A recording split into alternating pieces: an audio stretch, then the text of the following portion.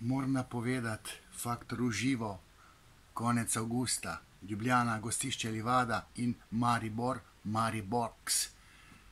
Za šva, štajersko populacijo, Lejte, morate se udeležiti. Mislim, da bomo videli, ali delamo plemenito, nekaj plemenitega za družbo in vi boste to podprli, če ne, pač ne.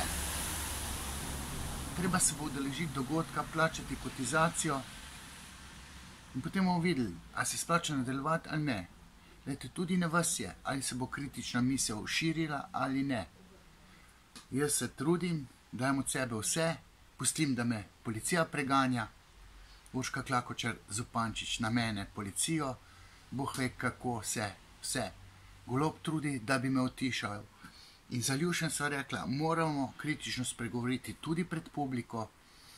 Vi, vaša dožnost pa je, da pridete, plačate tudi stopnino, nimamo sponzorjev, da vidimo, ali je to plemenito ali ni.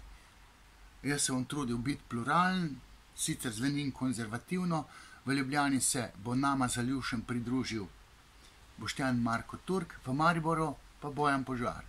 Pred novo sezono Faktorja, dajte se izprsti, izprsti, boste lahko sodelovali, spraševali. Eventim, rezervacija kart je potrebna, pa da vidimo, ali smo nekaj dobrega za družbo ali nismo. Se vidimo, čau.